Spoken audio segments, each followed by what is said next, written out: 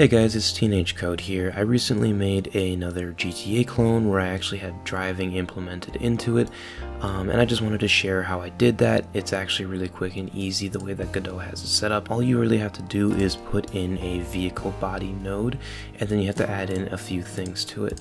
Um, so of course you gotta have in your mesh instance, so I've got this car right here, um, and then you also need a shape for that car. Yeah, I believe the game treats it as a rigid body. The next thing is you need to attach four wheels to your car, vehicle wheel 3D, um, and then you position them wherever you want to.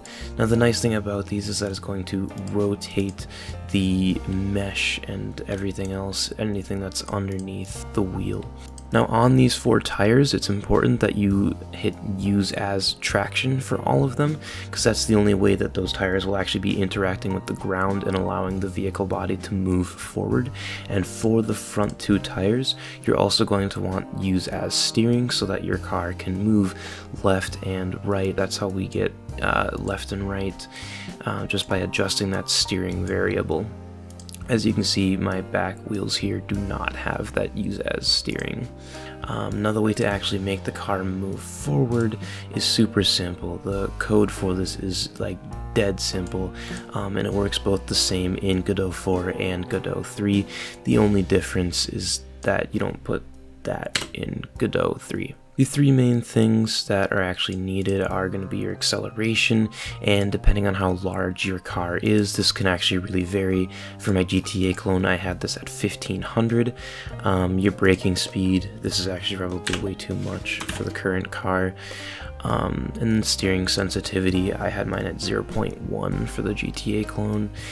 Um, now speed isn't actually needed. The idea is that in like after a certain point, you're not actually going to be braking anymore. You, instead, you're going to be uh, moving backwards and reverse accelerating, but this doesn't work. This is really janky. So, I mean, you can feel free to change that however you want.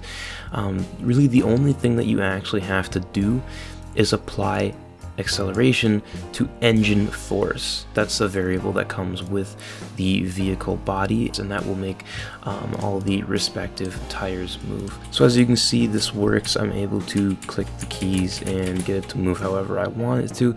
The only issue of course is that it is tipping absurdly a lot. Now if you want to avoid tippiness one thing that you can do is uh, change where all of your nodes are in uh, relation to the root node. So if you go higher with it and lower with it, that can change just how tippy the car is going to be. And you'll see now that car is not tipping nearly as much as it just was, so that's pretty cool.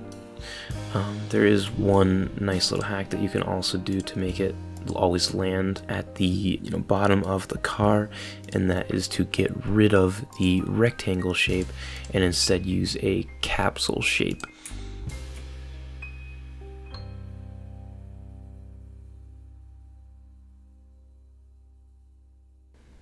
Cool.